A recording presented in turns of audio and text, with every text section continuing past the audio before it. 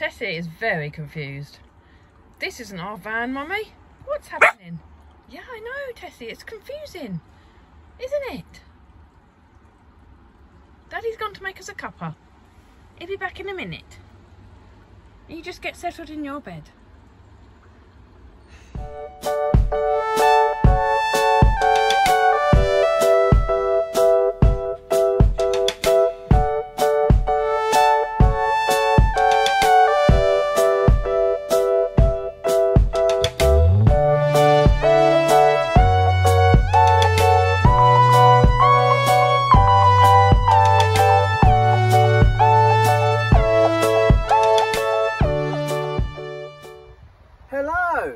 So whilst Varney's in for her habitation check, um, Leisure Drive have been kind enough to loan us a vehicle so that we could do a van tour for you guys. Now obviously Varney is a Vivante model um, by Leisure Drive, but this is the Crusader model. So this is your more traditional VW. So it's got the traditional standard layout inside. Now just moving around the van, obviously one of the first things we noticed was the colour scheme. So you've got your two-tone, you've got your gold and white, which we think looks fantastic. You've also got the alloy wheels um, that are obviously added afterwards. Um, you obviously get a lot of choice with Leisure Drive. You can add different wheels, um, all sorts of different features onto the van. The actual van itself is a VW T6, the same as ours, and it's based, I believe, on the Startline model. So just moving around the van, from the outside, one of the first things you see is you see you've got your wind out awning. So exactly the same as ours. The awning would come out to about here. It's obviously got your legs um, and gives you a great place to eat outside in the dry. Also gives us a great place to uh, dry the doggy off. We're just moving around to the back of the van, you'll notice that this one's actually on the barn door model. So you've got your two doors rather than your uh, rather than your tailgate. So obviously slightly different to ours. If we open up the uh, doors, one door there, and you've also got the other door there. What you'll see is you'll see that we've got a standard rock and roll bed. We will go into the detail of that um, a little bit later, and we will show you how that goes down. Other thing you've got in the back is you have got a bit of storage. So see you've got a cupboard in there, and in truth, you could probably get quite a bit in that cupboard. Just moving down, you've then got your gas safe cupboard. Um, so you should only really store your gas bottle in there. So it's not really a storage cupboard as such. The other thing to note is in your cupboard as well, um, any professional conversion should have what they call drop vents. So that if the gas leaks, because the gas sinks, the gas will go down those vents and it will go out of the van so that it doesn't gas you. So obviously you can tell that this has been converted properly by a proper company.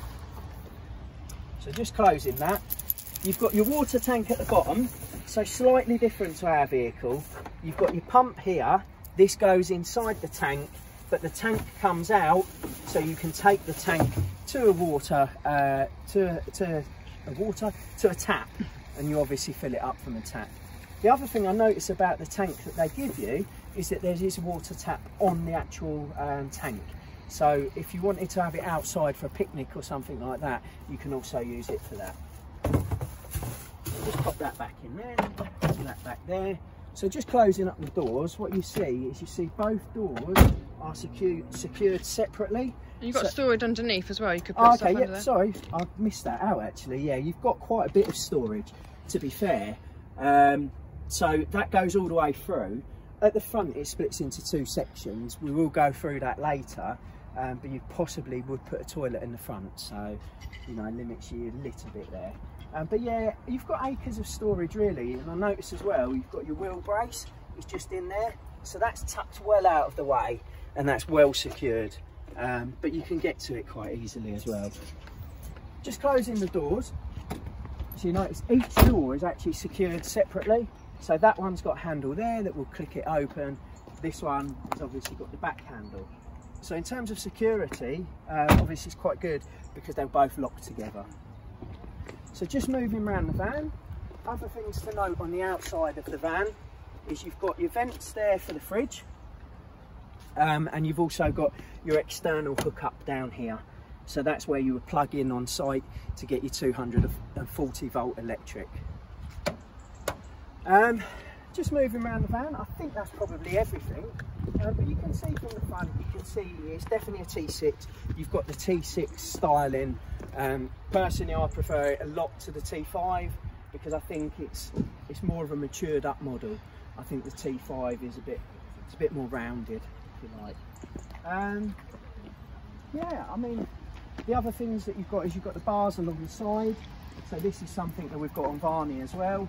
Um, obviously they add a lot of style to the vehicle and I think a lot of people have noticed them and commented on them on our van as well. Um, so yeah, nice little feature to have. I'll just open this door now to give you a glance inside as to the layout, but Clare is going to run through that with you in a minute.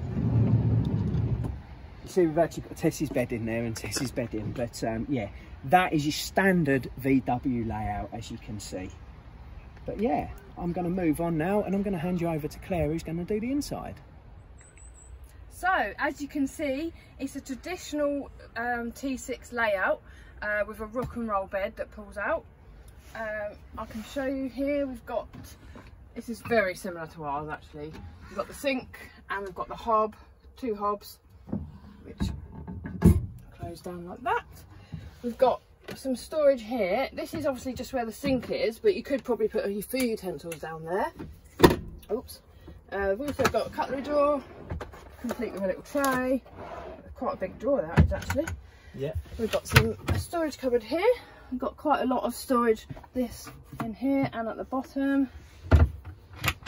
And it's just worth noting with that cupboard, sorry, just to interject, that the gas is at the back. Right. So in a lot of these cupboards, you would obviously lose a lot of space, but yeah. because the gas is at the back, you've obviously got you've a got huge cupboard for your kitchen storage. Yeah. You've got your fridge, which is a Dometic uh, three-way fridge, so you've got your plug, battery, and it works on the gas as well.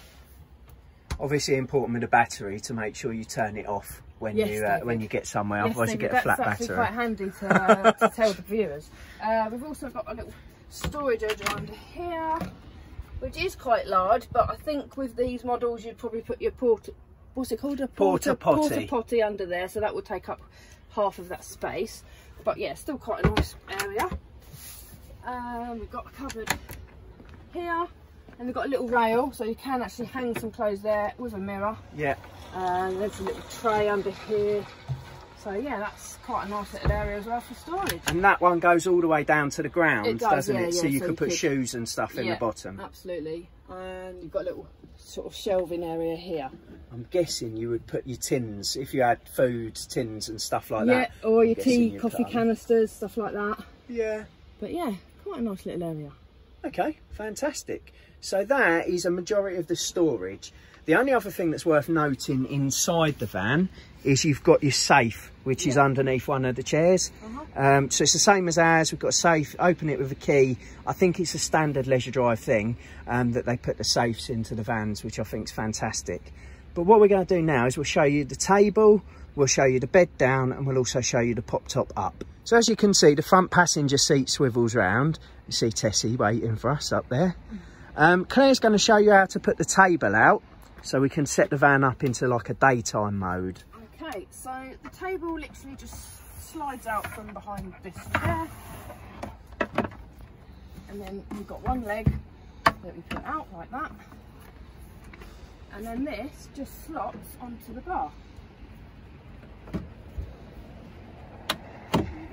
It has got a couple of little locks, so you can lock it in place. However, you can sort of move it to where you want it. You can have it in between or you can have it just on one side. So if you need this room here and someone's sitting there, so that's quite a good a good little uh, gadget actually so you can move it and then you can lock it in place underneath. Yeah, it's a nice flexible area because you can see you can easily reach it from that chair now or if you wanted to pull it back towards you. So nice, I love the flexibility of that. It's great. So now I'm just going to show you the pop top. Now the pop top on the Crusader model um, is slightly different to your usual VW model. It actually pops sideways um, rather than lengthways. I don't know if that's the right phrase. But in order to get the top up, now bear in mind I've never done this before, so I've just been told, you release these straps, he says. That's it. Pull that strap up. Okay. And then there's another one at the back. And I believe they're just on hydraulic struts. So we should just be able to pull the uh, pull the roof up. Okay, or push it up. Um, There's a handle there, isn't there? How's the handle there? okay. Yeah, there we go. Oh, And there we go. there we go. So the roof is now up.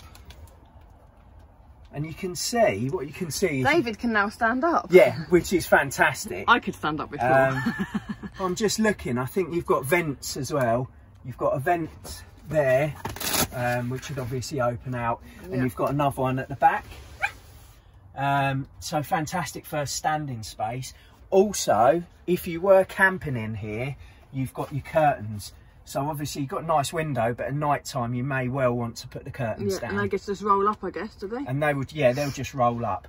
The other thing that this one i don't think has unless i've missed something no it hasn't is you haven't got a drop down bed on this particular model but i know that they can do one.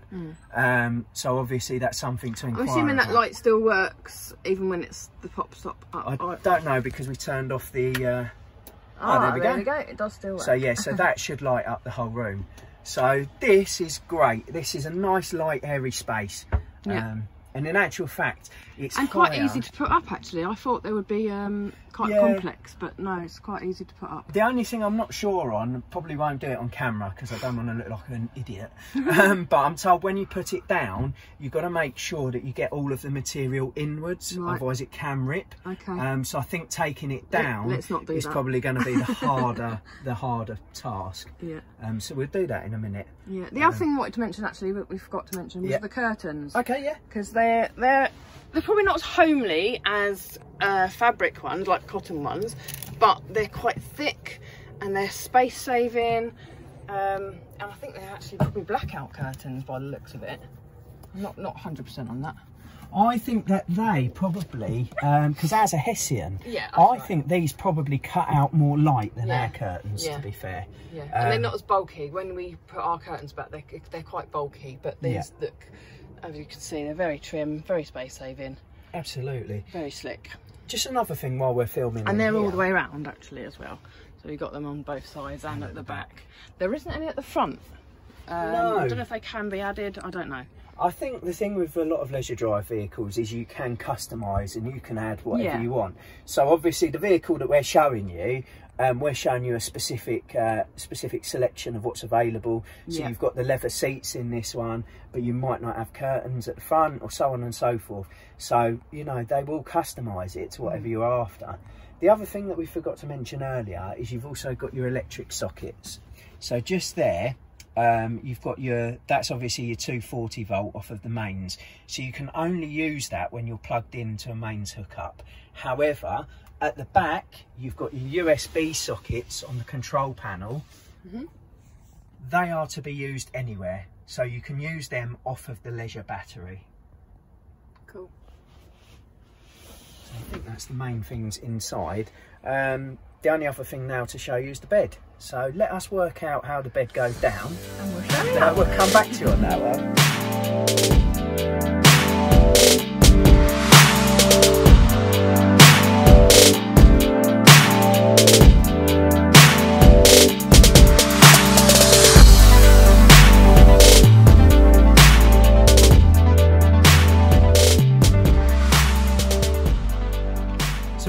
Worked out how the rock and roll bed works. It actually works the same as one of the sides of our bed. So first things first, you take your headrests off. Next, what you want to do is you want to uh, take this cushion at the back. You just want to move it so it's out of the way. So if you de if you uh, deattach it with the Velcro and just push it right to the back, that is now out of the way. Now I believe we didn't do it earlier. We took the cushions off, but I believe I should be able to move this with the cushions still on. So you've got your handle there. That releases the catch, then lifts up, and it slides out. There you go. Just like that. And what you want to do is move all of the cushions to the end and fill the gap with this cushion. And if my maths is correct, that'll fit in there. No, it I think, doesn't. it, that needs, I think that needs to overhang just a little bit. So, just pull them all forward a little bit. There we go. And there we go, there's your rock and roll bed. And David Um, will lie on it to show you the uh, Absolutely. length So, and how comfy it is. size wise, it's brilliant. I would say it's probably the size of a small double. Um, in terms of the length, it's fine for me. Um, but this is the standard size of a rock and roll bed. Um, the other thing we did note is the fridge. As long as your cushion is clear of the fridge at the front, That will still then open. you can open the fridge. So Yeah. if you fancy a midnight snack, you can obviously get a midnight snack.